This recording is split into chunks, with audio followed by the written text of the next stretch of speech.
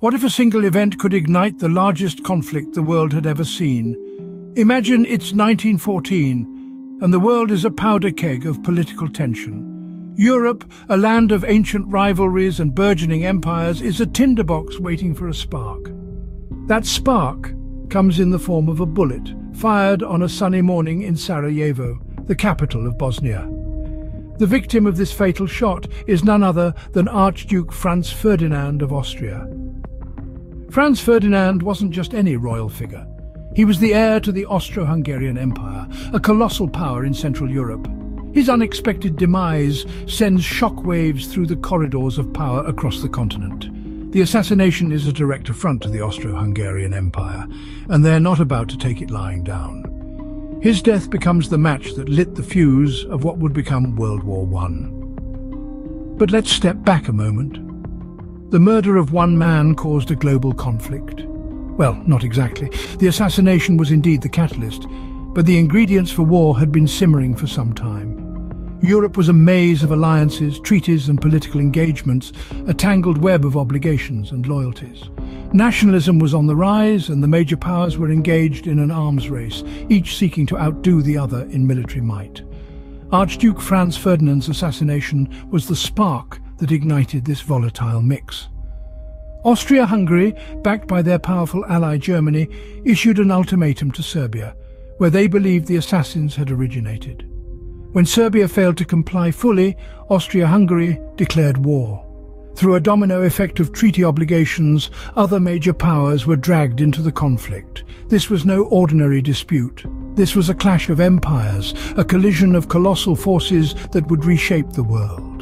The assassination of Archduke Franz Ferdinand was more than just a tragic event. It was the ignition point for a conflagration that would rage for over four long years. And so, the stage was set for a war that would engulf the entire world. In the summer of 1914, the world was on the brink of a war, the likes of which had never been seen before. Nations across the globe, caught in the entangled web of alliances and treaties, found themselves preparing for a conflict that would redefine the world's political landscape. The stage was set with two major power blocks, the Central Powers and the Allies. The Central Powers, a coalition led by Germany, Austria-Hungary and the Ottoman Empire, were driven by a complex mix of nationalistic aspirations, territorial ambitions and perceived threats to their sovereignty. On the other side of the battlefield, the Allies, primarily composed of the United Kingdom, France and Russia, were motivated by the need to maintain the balance of power in Europe and uphold the principles of international law. A series of ultimatums, mobilizations and declarations followed the assassination of Archduke Franz Ferdinand of Austria-Hungary, setting off a domino effect that brought the world to war. Germany declared war on Russia on August 1st and two days later on France. The United Kingdom, bound by its treaty obligations, declared war on Germany on August 4th. The world watched in apprehension as armies were mobilized, navies set sail, and the machinery of war roared into action. The air was heavy with tension as the world held its collective breath, waiting for the storm to break. This was not a war of kings or emperors. It was a war of nations, of peoples bound by the ties of alliance and duty. It was a war that would draw in soldiers from across the globe, from the deserts of the Middle East to the jungles of Africa, from the icy tundra of Russia to the bustling streets of London and Paris. The world was divided, and the stage was set for a brutal and devastating conflict. The drums of war were beating, and there was no turning back. The world was about to witness the dawn of a new era, an era marked by the thunder of guns and the cries of men, an era of World War I. Can you imagine living in a muddy trench for years under constant threat of enemy attack? Picture this, a vast network of trenches stretching from the English Channel to the Swiss border, a scar across the landscape of Europe. This was the Western Front during the First World War. Here soldiers lived in squalid conditions, their lives dominated by mud, lice and the constant threat of artillery fire.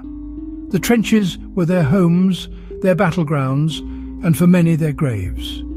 For long periods, soldiers would huddle in these dugouts, waiting for the call to go over the top, a command that often led to certain death in the no-man's land between opposing trenches.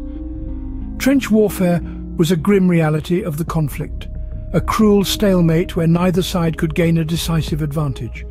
The use of machine guns and barbed wire made it nearly impossible for infantry to break through enemy lines. Soldiers would charge across open ground only to be mowed down in their hundreds, their efforts leading to minimal territorial gains at a horrific human cost. One of the most infamous battles fought in this landscape of trenches was the Battle of the Somme. Starting in July 1916, the battle was intended to achieve a decisive victory for the British and French forces. However, it soon descended into a bloody stalemate with an unprecedented loss of life. On the first day alone, the British suffered more than 57,000 casualties, the bloodiest day in the history of the British Army. Over the next four months, the Somme turned into a killing field, with over one million men wounded or killed from both sides. The Western Front was a deadly stalemate, a testament to the horrors of modern warfare. The scars it left on the landscape were nothing compared to the scars left on those who survived, a generation marked by the brutality and futility of a war that was supposed to end all wars. But the war was not confined to the trenches of Europe. It was also fought in the seas and the skies. Indeed, naval battles were a critical part of the war, with the Battle of Jutland being arguably the most significant. In the North Sea near the coast of Denmark, the British Royal Navy clashed with the Imperial German Navy in a colossal encounter.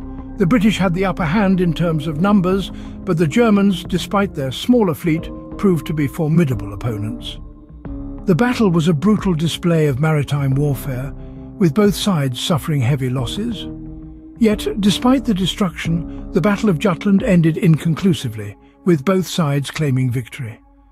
The war at sea also saw the rise of a new weapon, the submarine.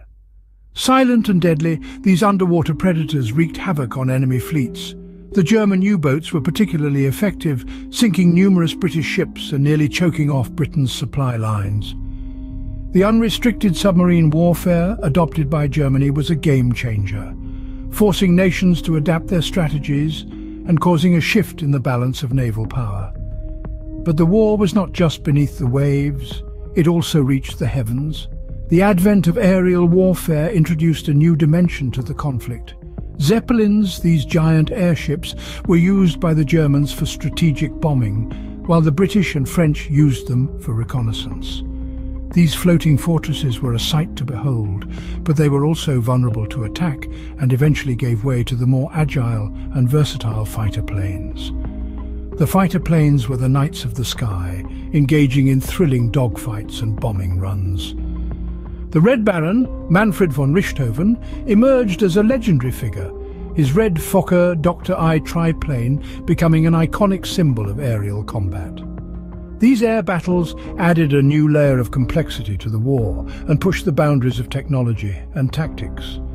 The war had truly become a global conflict, fought on land, sea and air, after four long years of devastating conflict, the world was ready for peace.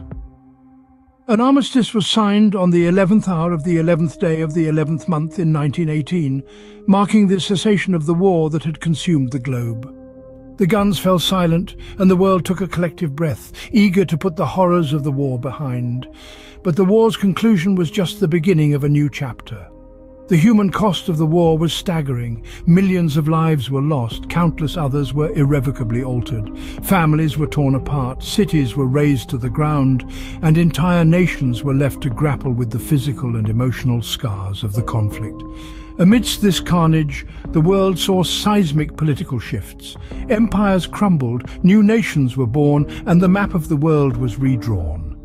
The most notable of these changes was the signing of the Treaty of Versailles in 1919. This controversial agreement, intended to ensure lasting peace, placed the blame squarely on Germany and imposed severe reparations that left the nation economically crippled. This punitive approach to peace, many historians argue, sowed the seeds for the next World War. The aftermath of the war also brought about significant social change. Women who had stepped into roles traditionally held by men began to demand equal rights. Revolutions were sparked, movements were born, and the world began to question long-held beliefs and systems. In the wake of the war, the world was forever changed.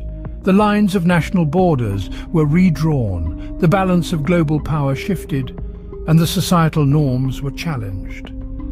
The echoes of World War I reverberated through the decades, shaping the course of the 20th century in profound and lasting ways. World War I left an indelible mark on the world, shaping the course of the 20th century in ways that are still felt today. The lessons we have learned from this global conflict continue to inform our understanding of war, peace and the human condition.